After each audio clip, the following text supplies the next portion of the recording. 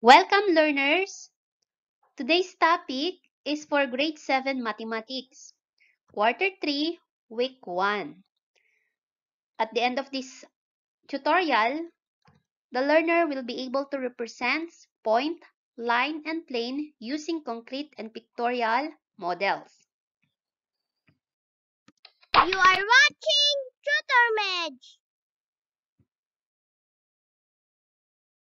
Have an example.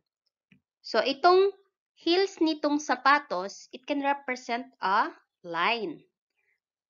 While, yung tip nitong heel na to, yung kulay black, yan, it can represent a point.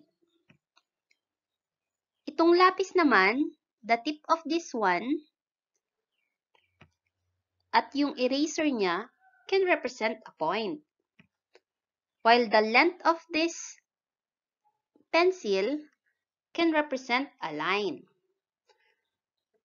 Itong pad na to, same as well to the pencil, yung kanyang tip, yan, both ends, can represent a point.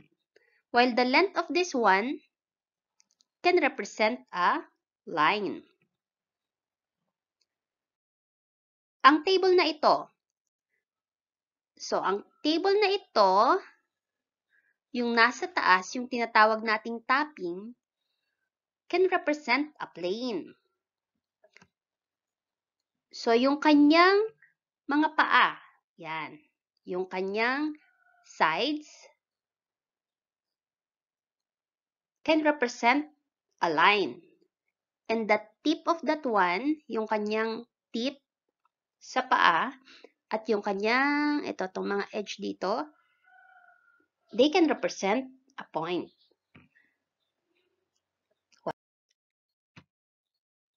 Ang whiteboard na sinusulatan ng ating mga guro, ito, itong part na to, can represent a plane.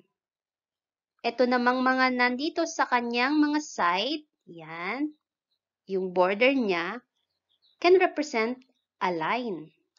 While, yung tip dito or the edge, yung mga edge-edge na yan, tapos yung dito sa baba, yung paa niya, yan, yung tip or yung roller, can represent a point.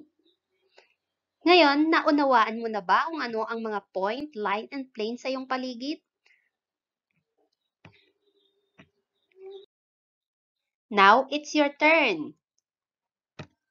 Comment below examples of objects that represent a point, line, and a plane. Like and subscribe learning!